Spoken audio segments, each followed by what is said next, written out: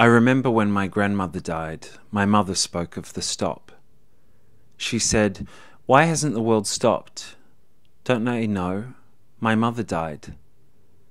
And all of these years on, as if passing the baton of comprehension of the great circle of life, I stand in the aftermath of my mother's death, and I follow in her footsteps and repeat her words of stop. However, alas, the world keeps going, and it's all a blur. I first came to anthropology from a foundation of appreciating that there was more than one way of seeing the world to see past the dominance of a neoliberal globalized world of chasing someone else's dreams of the dollar, capital D for dollar, I was introduced to the power of ethnography. In a world that moved so fast, and where disposable culture evidenced a center periphery model, where people, places, things were sacrificed for another's profit, capital P for profit, I saw the invaluable significance to sense make the senseless, to observe, to distill time, with a thick description of a contingent now, bearing traces of the collapse of capitalism. Following in the footsteps of our Karl Marx, it is experienced that it is our senses alone that may determine the observable. Everything else is abstraction for meaning making is made, made as imagined vistas of the virtual. Words were to be held with caution. For when words, when we use words, people take our word for it and forget to experience it themselves. However, a practice of sense making and making sense reconfigures empirical knowledge as a postmodern, post human vital materialism and as my own cyborg manifestation, the camera allowed me to see, the microphone allowed me to hear, and thus my sense making came to be of practice led research. My first ever anthropological inquiry was about hitchhikers in Central Europe.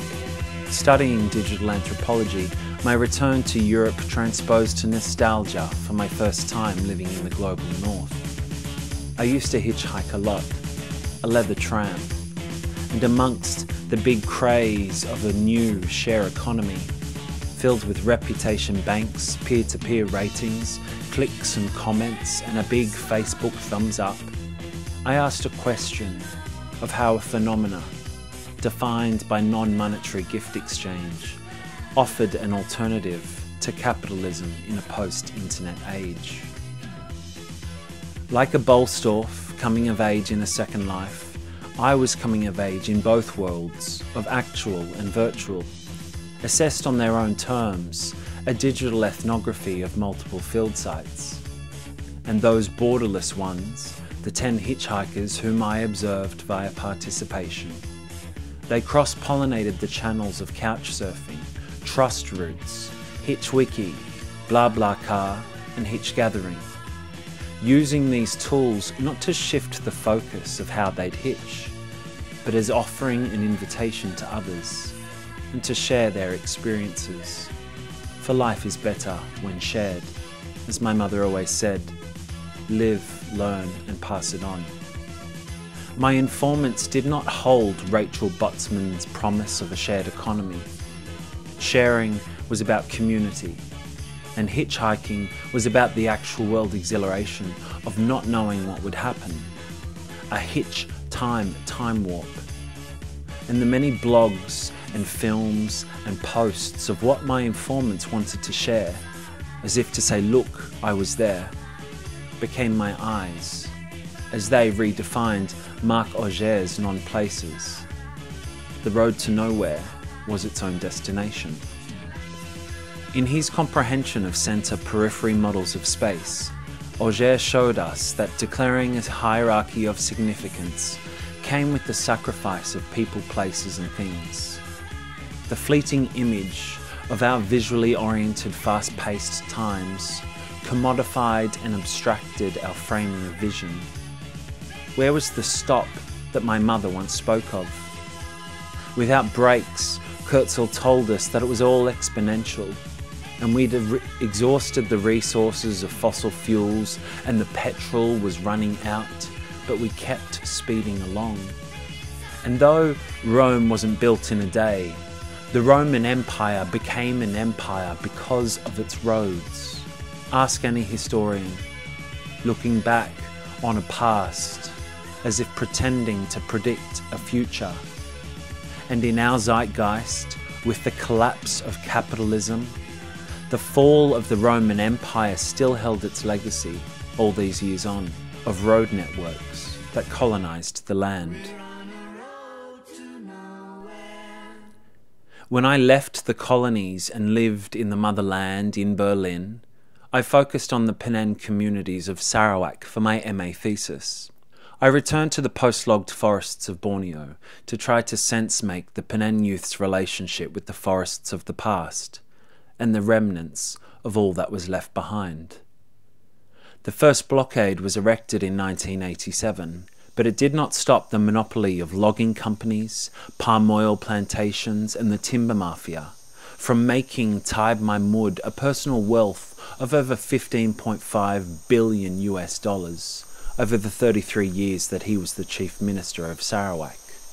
The blockades did not stop 96% of the 130 million year old tropical hardwood forest from being turned into disposable chopsticks in Japan, as if disposable in our disposable age. And with only 200 individuals still living the nomadic ways, the other 6,000 Penan were settled in government village settlements. The secondary forest's growth moated the settlements, with logging roads, stitching a rich tapestry of exposed clay bed soil veins on the blanket of green. Out in the field, I observed that hunting was the primary engagement of the Penan youth in the forest, with the return of the animals as their greatest symbol of hope. But it was harder to hunt than it used to be. Post-logging, with only memories of the grand height of high-top canopies to coordinate a distribution of UV nutrition, the trees were spindly and filled with forest floor thicket of vines and slippery clay bed soil erosion. So it was hard to hunt, no longer able to rely on the blowpipe that could shoot through the space of primary forest. Now Penan hunters relied on their guns and their motorbikes to carry them from the government village settlements to faraway lands in search of a symbol of hope. My MA supervisor was the great Dr. Mark Curran, who'd inspire me with his wise words and embodied physicalization as if miming a game of charades. He'd speak of studying up, always heralding Laura Nader's methodology of researching the invisibilities of power structures. And in our game of master apprentice, his hand would mimic a camera lens held up to his eye, embodying that there exists a whole off camera world beyond the frame. But we choose where we directed our focus, and we could look up. And his telescope hand framing his eye, and the class following what he wanted us to see, would look up, for optimism is a strategy.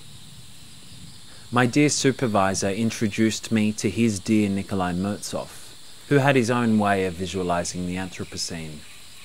And Mirzoeff offered a toolkit of a method he called countervisuality. In tracking visual imperialism from its militaristic origins to the present reality of the market, Mirzoeff surmised that to counter capitalism required a rupture of its form. If capitalism was a linear story, an anti capitalist rupture was a fractured narrative. I swapped ecosystems from an economic one of abstraction and commodification to an ecological one of an interconnected world, of an interconnected web. Follow one element as a linear story, and it's still commodified on its single path.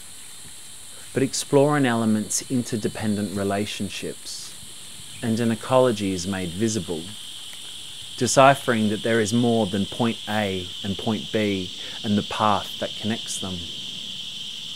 It's all connected. When the elders spoke of Sahau, those good old days before the logging came, there used to be a network of Jalan Gam, the footpaths. Nomadic family groups would follow in the footsteps of forest floor paths and leave messages for each other. The Penan may have been an oral culture who understood the caution of words, but they had a complex system of communication through small arrangements of twigs and leaves sculpted and left on the footpaths to bear messages to those who would walk on by. These sculpted arrangements, translated as oro, defined a sustainable practice to forest foraging, deciphering messages such as, there is no more sago palms in this area, or, we have caught five boars and our family invites others to come feast, or, ayao, an enemy is close. And an enemy was close, and the ayao of logging companies cleared 96% of the forest and cleared the footpath networks, and only the memories of the elders were left to word a trace of the past. Mirzoeff heralded Claude Monet's painting Unloading Coal as one of the first visualizations of the Anthropocene. Watching masses of individuals reduced to identityless workers as silhouettes of robotic procession of smog-stained skies of French industrialization. The impression must have been from a window of a steam train, an impression of freeze frame from the chug chug chug perspective. But now progress made the image move with modernity, from grain to pixel and with a camera to help me sense make the senseless. I'd lakau taitoro, go hunting with my Penan hunter informants.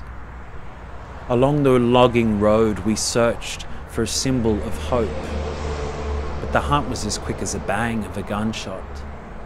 And then it was just the long ride home on our motorbikes. Holding my Penan informants tight on the back of a motorbike, I journey on those logging roads and look to the side to a relationship that motored their lives. My subject of the forest, caught as a frame, frozen, an image, a whole ecosystem, commodified and abstracted. I call it motion blur. It's all a blur on the paths of progress. Before I called stop, before my mother passed, she bought me driving lessons. I knew how to be the passenger, but driving was a chaotic frenzy of scanning mirrors, finding blind spots, oncoming traffic, eyes darting, flashes of reflection, and all the while watching my speed as I sped along. I may have since made the anthropocentric ecologies of my peripheral vision, but this was as a passenger. Taking control of the wheels of progress, I could barely even focus on all the other cars and the other people, let alone have self awareness or predict what lay ahead.